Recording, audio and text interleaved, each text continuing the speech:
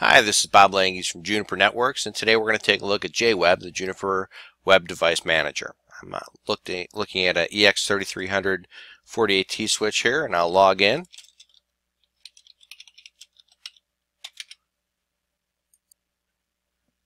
When we initially log in, you're presented with a graphical view of the device, including the rear if you need to look at the management port for some reason. If you hover over the ports, you're able to see up-down status, uh, general port information. You're also presented with uh, the health status of the system, including memory, uh, you know, what, where the memory is allocated, CPU load, temperature, fan status, all that type of thing. And any alarms will show up here as well. When you click on the monitor tab, some things you may want to take a look at are the interfaces. If you click on that, it gives you a listing of the interfaces that are on the device. If you look down, you can scroll through the interfaces and see what's uh, what's up or down, quick up down status. If you want to check on uh, traffic or other details, you highlight the interface and then you click on details, and then it's going to show us some data about that in terms of you know your general information, traffic statistics, and if it's an L3 interface, it's going to also show uh, your layer 3 interface information there as well. You may want to take a look at the system view and see general system information. Chassis information and process information to see what's running on it and what percentage of memory and CPU load is happening at this point in time. Switching, you get to see Ethernet switching to see what the status of the switch is, MAC address information, spanning tree information. Uh, if your system is configured in a virtual chassis, that information is going to show under the virtual chassis information, but I don't have anything configured on this here now. You'd also see if you had any sort of routing going on, you'd see that information under the routing tab here. Like you can see I have some interfaces configured, loopback interfaces, and just the information I have configured. But if I was running OSPF or RIP or BGP, I'd also gain that information from this tab as well.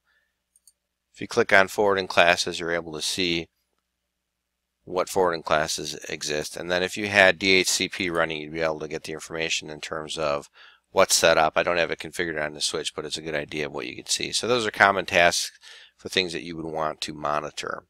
From a configuration standpoint, um, you could change things about interfaces. So if I click on the ports here, uh, it gives me a little reminder that I may want to commit these changes once I get them done. If I click on a port and I edit the port, I could change some things about that port role, which is basically a, a summary port role. VLAN options, which would probably be the thing that you commonly do. So if I want to change this from an access to a trunk port, I could do that, or I could change the VLAN membership as well. I just apply that. And once I do that, that's going to apply it. And then if you notice, it's flashing to remind me, hey, you want to you want to commit these options so that when you make your changes, you just go ahead and commit them. And it's going to uh, commit and confirm that. So if I've done everything right, it's going to pass through with a successful configuration change. From the configure section, I can also take a look at your general system properties. So if I wanted to change the name of the system, I would just click on that and I'm able to edit that and type what I wanted here, uh, change passwords, all that sort of thing, and just confirm those changes. So that's easy. If I want to add additional users to be able to manage this switch, I would be able to add those right here. Uh, or set up my uh, method, other methods of validating those users. If I wanted to enable DHCP, I could do that right here. And I could configure global and I could add pools. So right now I don't have DHCP on any subnets, but if I wanted to add that, I'd click add. And then if you notice here I have some asterisks and these are my required pieces. So if I just wanted to configure it for the 10 dot network, I could do 10 dot 0, 0 slash 24 and I'd be able to give myself an address range of 100 and maybe I want to go 10 that. And then if I want to reserve any addresses for say servers or something else even though it's not my range I could add that there. And I don't have to fill in any of these other things but obviously in a lot of cases I would and I would just hit OK and it would apply that to the configuration. I'm not going to do that right now because I don't want to break the switch that I'm on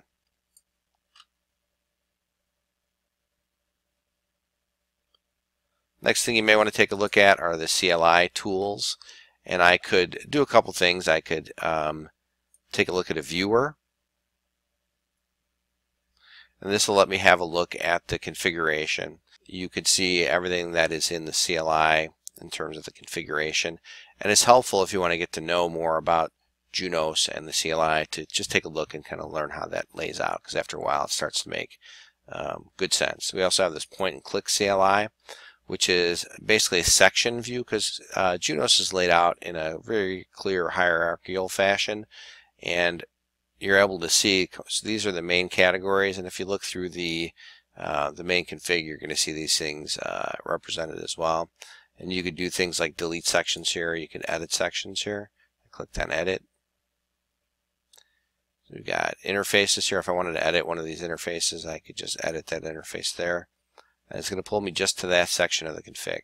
So the last thing we'll have a look at is the maintain menu. So if I click on maintain, of course you have configuration management where I could see history or I can upload a new config or I could set what is my rescue config which you can invoke if you have a problem.